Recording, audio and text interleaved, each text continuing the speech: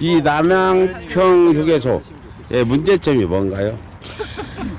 우리 이시원 의원님 말씀 좀 들어보세요. 음, 남양평 남양평이 아니라 남한강 아, 휴게소. 남한강. 아, 네. 네. 남양평 IC 근처에 있는 네. 이제 남한강 휴게소인데요. 네. 이 남한강 휴게소는 어, 휴게소가 오픈되는 게 12월로 예정되어 있는데 건물을 다 지어놓고 불과 4개월 전에 민자 사업자를 선정해서 민자 휴게소로 전환하는 유일한 사례일 뿐만 아니라 그 시기도 매우 이례적입니다.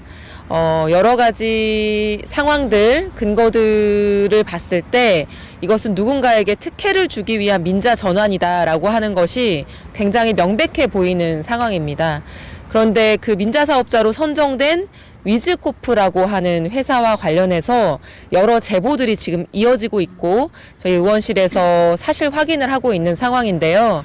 어, 이 업체는 윤석열 대통령과 관련이 있는 회사다라는 이유로 어, 2021년 대선 캠페인 진행 과정에서 이제 코스닥 주가가 오르락 내리락 했던 대표적인 윤석열 테마주 기업이었고요. 네.